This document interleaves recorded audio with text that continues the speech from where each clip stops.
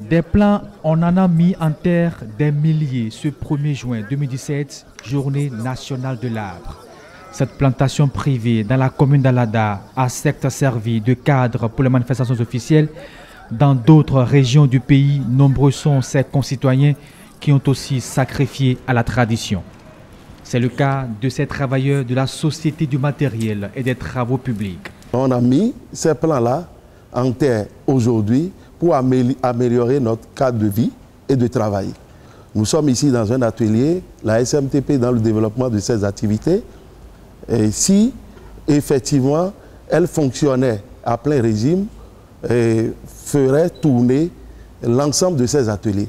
Et ces ateliers, une fois euh, en état de marche, produiraient du CO2.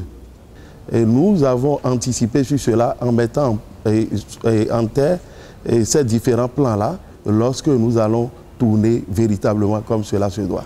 En attendant donc la reprise des activités de cette unité de production, le personnel prend des dispositions écologiques pour la captation des gaz d'échappement des machines, un appel de pied pour accélérer le renouveau promis par les autorités.